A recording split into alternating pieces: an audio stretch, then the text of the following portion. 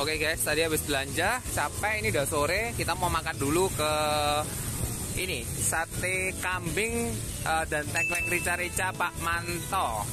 Ini katanya lumayan terkenal. Aku uh, sempat randomly tanya tiga orang, mereka rekomendasiin ke sini semua. Jadi yuk kita ke sana dulu.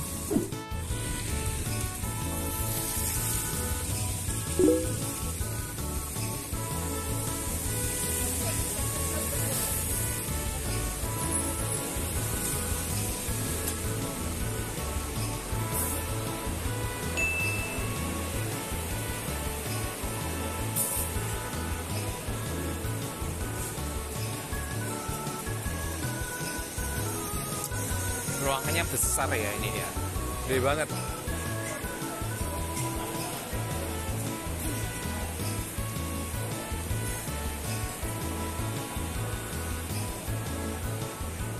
Paling favorit apa mas? Favorit, favorit. sate kambingnya seporsi berapa itu? Berapa mas? Isi 10. isi 10 berapa? 55 sate kambingnya satu tulis sendiri atau gimana.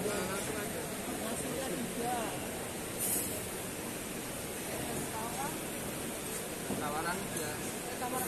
Tiga.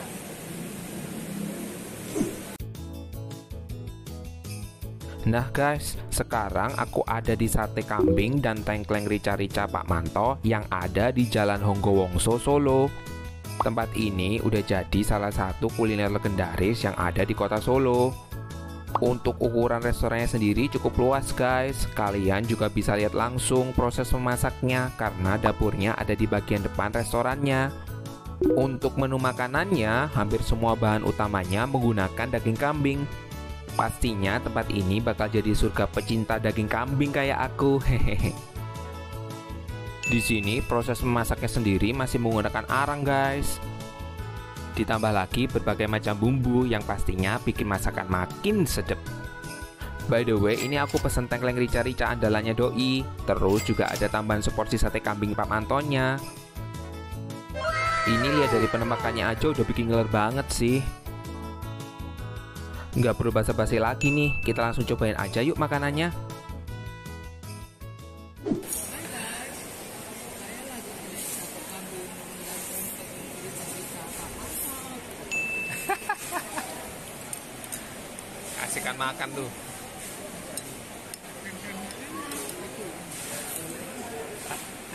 Kok yang ngomong malah mama? Ayo, Pak. Hmm, komentar, komentar ala foodies. Guys, Hah? kita coba ke sini guys, kita mampir. Ini dia namanya sate Pak Manto. Ini ada terletak di jalan jalan MT Haryo. Oh, jalan apa ini ya? Eh, jalan apa guys? Kak Pak Minto di belakang di sebelah Hotel Novo. Kita cobain tengklengnya nih. Kita katanya sih di sini yang favoritnya sih tengkleng rika-rika kita cobain ya. Coba. kalau satenya yang biasa ini biasanya di Solo ini kan satenya dirontok ini tapi kok ini enggak ya? Mungkin udah ganti pula udah, udah udah beda paradigma kali ya sama yang zaman dulu Bapak kayak review apa ya? Lama banget ya. oh jadi ya kita coba ini tengkleng rika-rikanya Ya, gimana rasanya? ya. Dimakan, dimakan, dimakan. Ya. Tapi kelihatannya tulangnya gede-gede nih kayaknya. Agak kurang cocok kayak gigi kayak gigi orang tua ini kayak agak kurang cocok. Hmm. Ya enak sih guys, teman giginya ya, kan sebagian agak Jangan makan tulangnya ya, tulangnya keras. nggak usah makan tulangnya. Artinya tulang kita buang. Soal bumbu rika-rika, pokoknya maknyus lah. Kalian coba satenya. Satenya, satenya sekarang. Enak berarti ya tengklengnya ya. Tempelnya enak. Berapa jempol? Nilainya berapa? 1 sampai 10. Tujuh.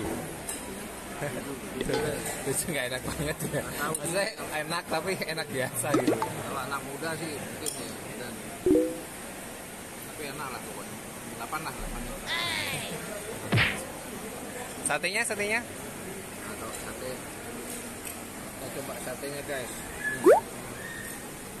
ini kalau di Jakarta ini potongannya hampir sama pasar Keramat Jati pasar pun sate Haji siapa namanya? Itu lupa. Coba.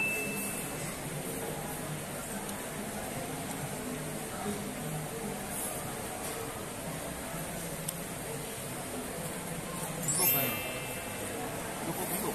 Nggak terlalu empuk juga. Bumbunya cukup kecap saja sama cabai sama kopi jadi untuk kita yang rasa kelaparan masih masuk lah. Ya namanya sate ya ke mana-mana. Kalau kita sih asik-asik aja gitu. kebetulan ada yang punya nama bagus di sini ya.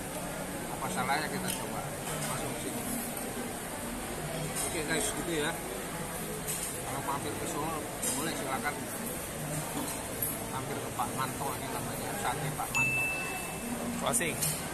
oke sampai ketemu di lain menu ya selamat sore Nah guys, papaku kan udah selesai ngevlog nih. Sekarang giliran aku ya nyobain makanannya. Oke, tadi kan papaku udah review ya. Sekarang aku cobain. Ini dari kuahnya dulu ya. Kuahnya, ini kayaknya kental banget sih.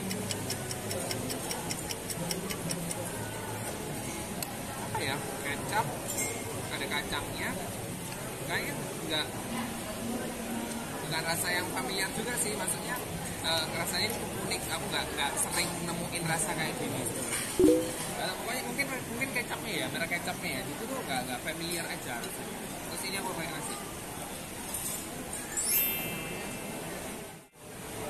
Terus yang kalian pengen tahu kan pasti tengklengnya kan ini selesai tengkleng rica-rica aku cobain ya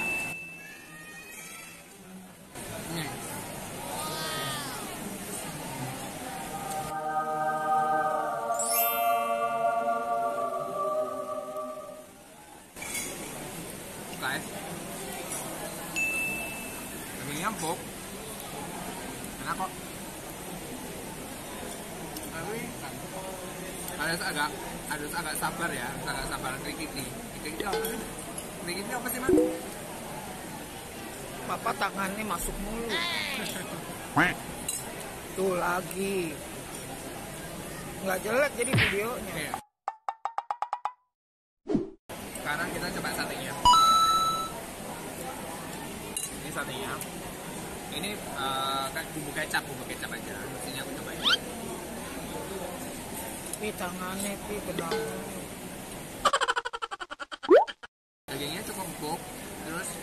Rasa manis kecapnya juga. Juga gurih-gurihnya, gurih kecap juga. Nah, enak. Boleh lah kalian coba kalau mampir ke Solo.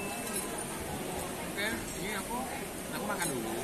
Terus nanti habis ini mungkin eh, bakal langsung balik hotel istirahat aja karena eh, udah capek.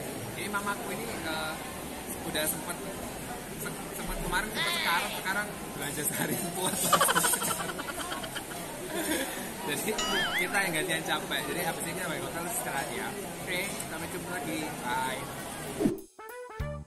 Guys, di pojokan juga ada otak-otak ya kalau kalian pengen coba.